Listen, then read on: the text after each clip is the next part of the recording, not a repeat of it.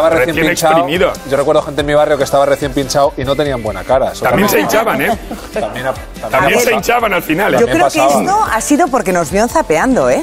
Lo vi el otro día y digo, este ve Sí, yo zapeando. creo que dijo, ostras, Sí. he visto a Lorena eh, diciendo fuerte lo de... Sí. que no- Un saludo, a, un saludo a Ricky Martin. que Pues yo creo que está estupendo y se le nota haciendo así que no tiene nada, ¿no? ¿O cómo se nota cuando Hombre, tienes voto? algo tiene, pero que está muy bien, está Ah. muy bien, está estupendo. Tú como especialista dile todo lo que se ha Bueno, hecho yo como cara. especialista, a ver si voy a hablar ahora y se me echan encima. No, no sé. No, tú- pero, tú, tú cuando, pero cuando sí te has verdad. puesto Botox, ¿qué te- te has puesto Yo no me he puesto Botox. Sí, hombre. Del oro ese que te ¿Qué has nos dijiste? ¿Cómo que no? ¿Y, el, y, y por qué? Yo una vez me puse un poco de labio, que yo lo conté y sacamos Sí, los vídeos sí, aquí. sí. Y la verdad que, ¿sabes qué pasa? Que justo cuando me lo puse, como se te queda un poco hinchado, por eso sé que te quedas un poco hinchado. No, no. Como se te queda un poco hinchado, me quedaba espectacular. Pero luego se bajó, porque Claro. me tendría que haber puesto más. Lo que pasa que a mí me dio miedo ponerme más, porque dije, a ver si voy a tener más morro que tienes y luego me sabe- agua. Oye, Entonces, pero una cosa lo te fui voy a como decir. con poco. A ver. Tienes Dígamelo. Un, tienes un pelo muy bonito. ¿Te lo puedo tocar un momento? Sí.